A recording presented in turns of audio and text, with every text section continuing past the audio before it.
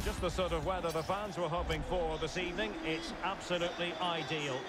I'm Derek Ray, and my commentary partner, as always, is Stuart Robson.